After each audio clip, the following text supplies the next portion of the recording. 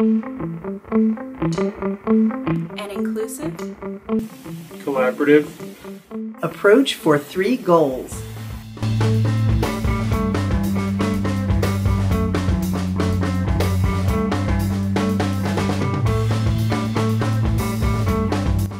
I believe in the power of communities to create a healthy world for people and nature.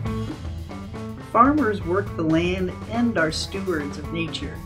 The landscape approach gives them the tools to make a positive impact for animals, plant life, and the families their farms support. development, conservation, and agricultural projects don't have to be at odds. The landscape approach empowers people representing these diverse interests to work together towards common goals.